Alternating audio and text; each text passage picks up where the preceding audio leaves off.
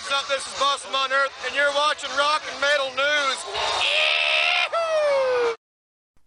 Hey guys, this is Ron from YouTube's Rock and Metal News with a Rock and Metal News update.